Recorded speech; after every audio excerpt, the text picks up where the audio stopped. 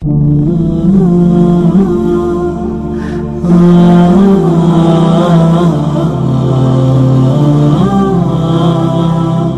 brother. Are you a non-Muslim? Are you a non-Muslim, brother? I'm mualaf, Mister. Oh, mualaf. She revert, revert to Islam. Revert. She, yeah, she revert, he Mashallah. Yes, brother. Most welcome. Saya nama saya Wibowo Kusuma, asal dari Sidoarjo. Keluarga saya agamanya beraneka ragam, ada yang Buddha, Konghucu, dan Kristen. Dulunya saya Kristen, tapi di awal-awal stop, stop, stop. My name Wibowo Kusumo. I am from Sidoarjo. My family is Christian. I can't hear you. Ah, right.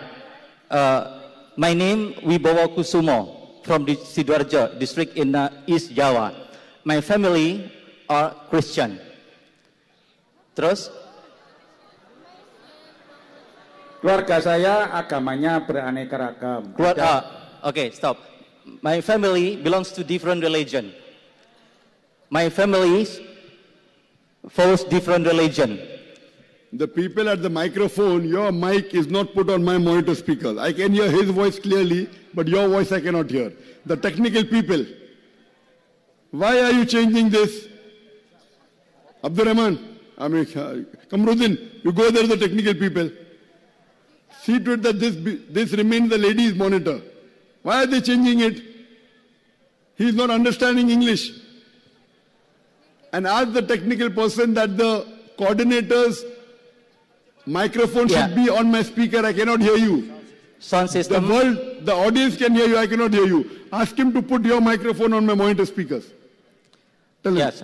Uh, sound system supaya kemu- mic yang kami pegang yang ada di depan ini bisa didengarkan oleh Dr. Zakir.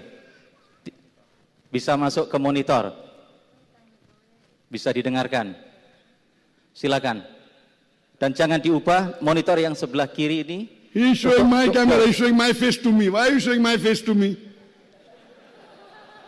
Kenapa kalian menampakkan wajah saya di situ? Difficult in understanding. Change the camera don't, don't, don't touch it. Ubah ya dan jangan kemudian disentuh-sentuh lagi.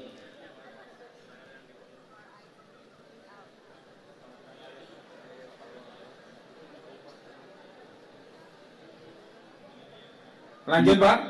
I can hear his voice very clearly. I cannot hear your voice because your microphone is not coming on my speakers. Ya. Teknisi, Oh, I heard that it's coming from a Christian family, yes. And after that I did not hear. What did he say after that? Ah, baik. Ulangi pertanyaan dari pertama. Ask him to start from beginning. Ya. Pertanyaannya aja Pak. Ya, pertanyaan saja. Saya mau tanya untuk menambah keyakinan saya.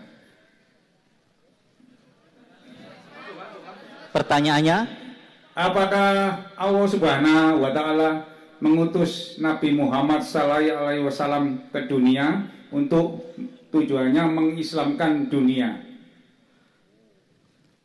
does the purpose of God sending the messenger Prophet Muhammad sallallahu alaihi wasallam to bring all the people into Islam?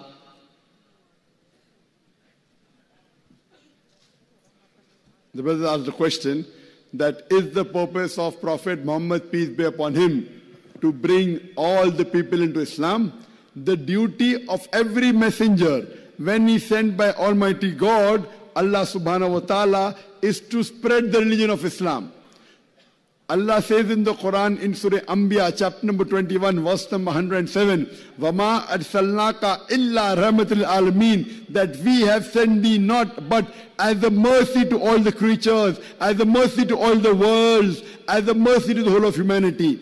Allah says clearly in Surah Fatir, chapter number 35, verse number 24, that Vama Arsalnaka illa kafatil linnas Bashira wa Nadhiro that we have sent thee not but as a universal messenger giving glad tidings and warning them against sins. This is Surah Sabah chapter 34 verse 28. So all the messengers came to give the message of Islam. since Prophet Muhammad, peace be upon him, is the last and final messenger, he was not sent only for the Muslims or the Arabs, he was sent for the whole of humanity. He had come to deliver the message to the whole of humanity, and the Quran is for the whole of humanity. Hope that answers the question, brother. Right, uh, jawaban Dokter Naik bahwa Allah mengutus para nabi dan terutama Nabi Muhammad itu diutus untuk kepada seluruh manusia, kafatan linasi. Yang pertama dari surat yang pertama tadi diutus untuk rahmatan lil alamin. Jadi untuk menjadi rahmat bagi alam semuanya. Lalu kemudian Nabi juga diutus kepada seluruh manusia dan kepada seluruh kemanusiaan, all humanity. Jadi pesan dan risalah Nabi Muhammad itu ditujukan kepada seluruh manusia bukan hanya manusia tertentu atau kelompok tertentu tapi kepada seluruh manusia. Ya. Itu jawabannya. Iya. Uh, ini permintaan saya terakhir untuk Ustadz Sekretari. Jika Wan. Anda tidak keberatan, bolehkah saya merangkul memeluk berjabat tangan supaya saya bertambah yakin untuk berjalan di Islam. Oh ya. Yeah. He asked one more thing that he would like to come to you and shake with you and Anda adalah idola saya mulai dari awal you are, saya mualaf. Oke. Okay. You most welcome. Yeah.